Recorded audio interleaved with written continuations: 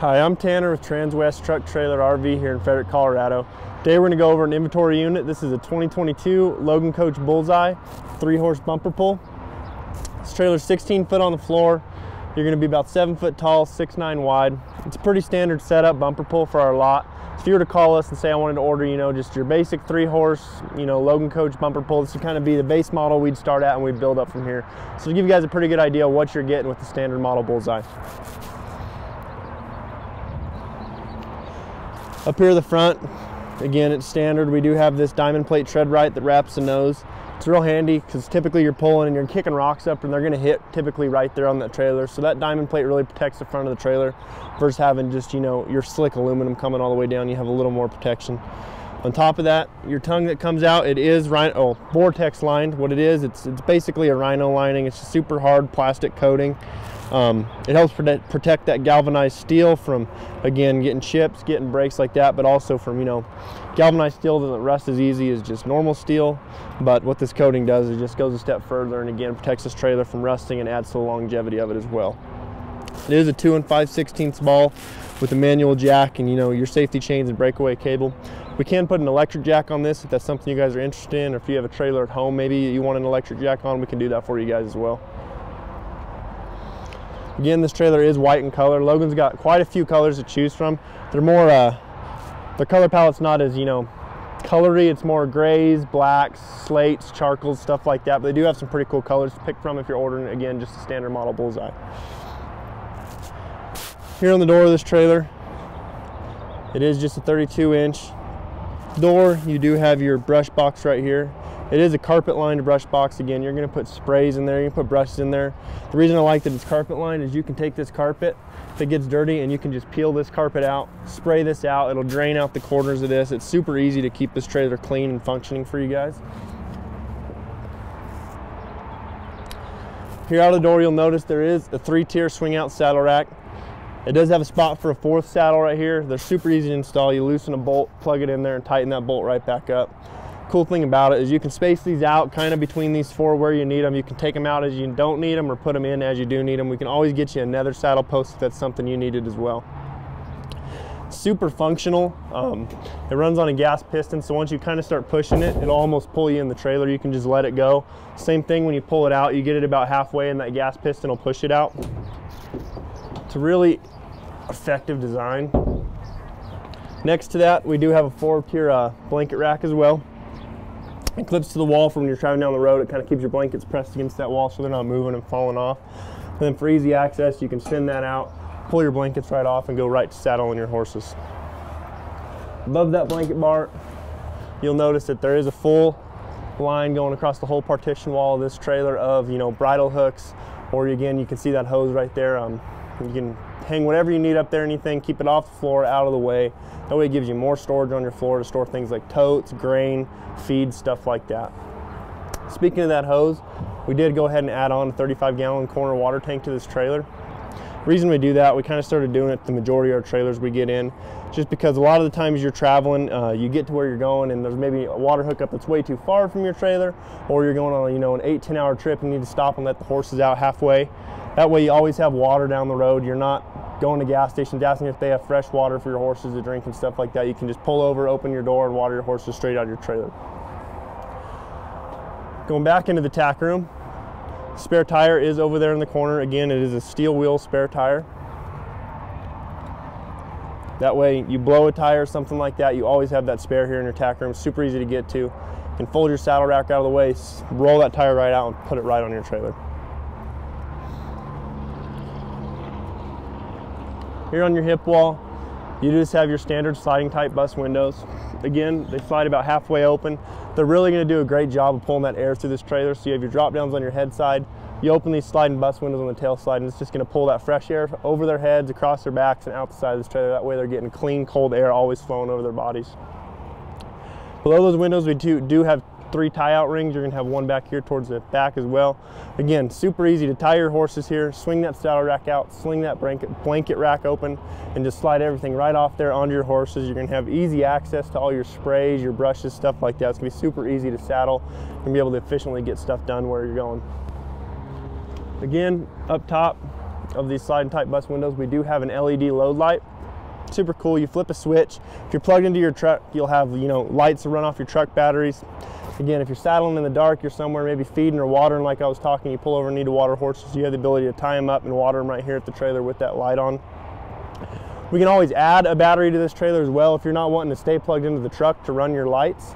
We can always add a battery pack to this trailer. That way you can run this trailer when it's not hooked up.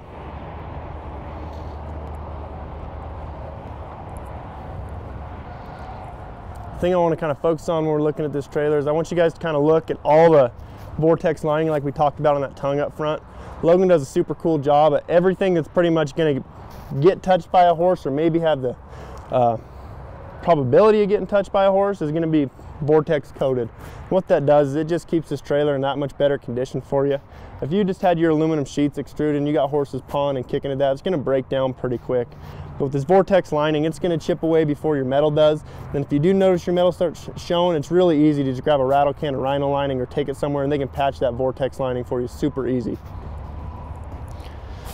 And again, this is just your standard model bullseye, so it is a wood floor. And again, you'll notice the wood floor is also, and it's being super tough wood floor, they went ahead and they vortex lined that as well. So again, water's gonna have a hard time getting to that wood. Wood's pretty hardy anyway for a trailer, but they just take it one step further and vortex line that. Cool thing about it with these slats is all your urine from your horses is gonna drain through this floor as well a lot of people come in and they see the wood floor and they're pretty upset that they can't do there's a thing called polylast flooring. And what it is is it's a permanent flooring that they typically put over aluminum slatted floors so it'll drain. The cool thing about these Logan wood floors is they don't really have rounded edges. It's super easy. You can come in here and you can pour a polylast flooring over this. That way you can get rid of your mats. You do have the ability to still use the polylast with the wood flooring. That's just something I wanted to point out to you guys. Inside the trailer, they are padded dividers you will notice that this rear divider here, it is a telescoping type divider. The reason we do that is because you'll notice if I swing it open and you wanted to travel, there's no way you could shut your back door like that. So we make it a telescoping divider so it's super easy to slide in. You can shut your back door and still be able to use all this space if that's something you needed to do.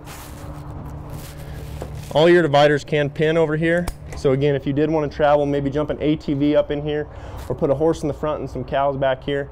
You could always chain that over there and keep it out of the way.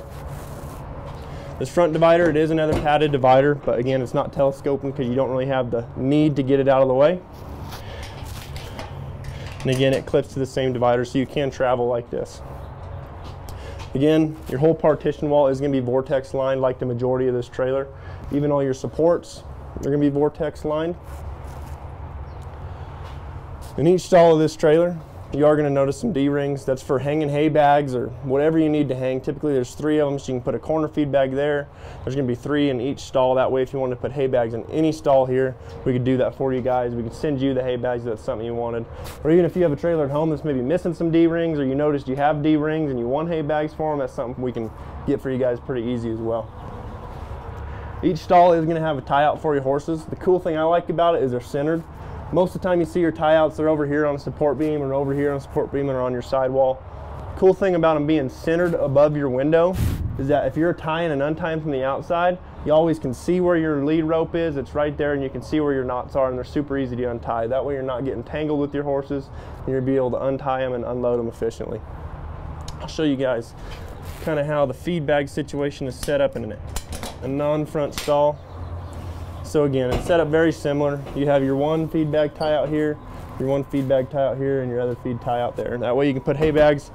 You're hauling three horses, you can safely feed all three horses. And that way you're not having those old school hay nets hanging, scratching your trailer up. But again, if you do like those old school hay nets and that's something you kind of live by, that vortex lining is going to do a great job of protecting this trailer as well. On your hip side, you do have jail bars over your windows. Again, you, sometimes you get taller horses, their tail heads like to poke through windows. You see a lot of trailers with screens popped out, windows popped out. Putting the jail bars over there, it just kind of protects them a little more and maybe deflects a little bit of tail head away from this window. Up above them, there are three LED lights. So again, if you want to check on your horses or something like that, you're plugged into your trailer. You can flick a light switch and your horses will have light back here. You'll have light back here to check on them, feed them, to make sure everything's going okay while you're traveling. And again, we can put a battery in this trailer. That's where it's set up to where you don't need to be hooked up to your truck to run your lights. Before I run out of here, show you guys how easy it is to use your latch system. I like it because it's almost like a slam latch. You can just slam those shut. They're super easy to operate. You just pull your lever, they open right up. The cool thing about them is the more your horse pushes on them almost, the tighter that connection is going to be. So if your horse likes to lean on your dividers and stuff like that, you're not going to have to lean or worry about them coming open as much because it puts that much outer pressure on that latch that it's going to help it keep closed more than hurt. Same thing with your telescope telescoping. It's a slam type divider. Slams into place and again, the more your horse pushes on this divider, just the tighter that connection is going to be. We do have up top out of this trailer, you will notice there is another one of those load lights. Again, if you're loading horses, we want you guys to be able to see what you're doing and stay safe loading horses. It helps keep you safe. It helps keep your horses safe. They can kind of see what they're doing. They see a little better than you in the dark. But again, if you're unloading horses, it's middle of the night, you get somewhere, the more light, the better. So that's kind of why we put these lights back here.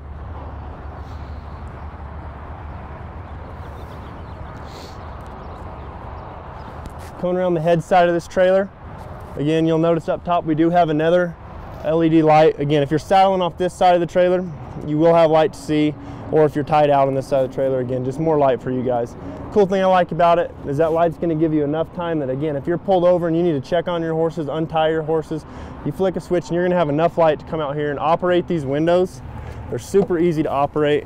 You're gonna have enough light to be able to, again, see that lead rope centered in that window and you're gonna be able to turn that light on, see that lead rope, untie your horse, and they'll back out without getting tangled, without you getting in a mess inside. It's super easy. I really like Logan's windows. Um, come over here and we'll show them a little bit. Typically, you see a handle at the top like that, like I can barely reach that right now, or one's off to the side. Sometimes shorter people have a hard time uh, reaching those latches. The cool thing Logan did is they made a bar that pretty much travels the whole length of that window. So if you can reach that bar or pretty much reach any length of your window and pull down, that window is going to operate super easy. Same thing with your middle jail bars. If you can reach that middle jail bar and just pull down, it's going to open just as easy. So it makes it super easy for you to get your horses, check on your horses, even for the smaller folks. You can run down the road with them closed like that. Um, you can run down them with your jail bars open. I don't suggest it though, just because there's nothing holding this air. But you can absolutely run down the road with it like that. It's latched like that. It's meant to travel like that. That way your horses are getting just enough air going over them. You're getting fresh air pulled through your jail bars and coming out again through your bus windows on the back side. There are, you know, your hay nets right here. I like that Logan includes these on their trailers because a lot of time you leave a show, you leave a rodeo, you're going home for the night, you're gonna feed your horses on the way home, especially if it's a couple hour drive. So if you feed your horses in there, typically what you're gonna have to do is shut the windows so that wind's not blowing that hay around in there, getting in their eyes, getting in their nose, stuff like that, kind of clogging them up. But putting a hay net there, that kind of gives you the ability to still feed them and it kind of limits that wind just rushing through there and swirling that hay through your trailer. It kind of gives you a little bit of wind blockage, but still allows your horse to get some air while he's eating. So again, their windows are super easy to operate. Cool thing about them is that if it is a little bit chillier out, but you still want some fresh air for your horses, you can fold your windows up and each window is gonna have a sliding type in the middle. So that way, if your window's up, you wanna shut them all, but you still want your horse to have some air, you can use that sliding type window. And again, just get a little air through there if it's cold out, or again, if they're eating and maybe the hay, hay is swirling just a little too much in there for your liking, you can just close them and open that little bus window and give them a little air. So again, this is kind of just your more standard, you know, Logan Coach Bullseye. If you were gonna order one from us, again, just call us and tell us you wanted a standard Bullseye. It's more than likely what you'd get. We went ahead and added a water tank onto here. Again, it's a super nice little trailer. We're kind of having a hard time getting them in and flowing, but for the moment, this one is available. If you are interested in this trailer, go ahead and reference stock number 5N201261. Again, it's a 2022 Logan Coach Bullseye three horse bumper pull.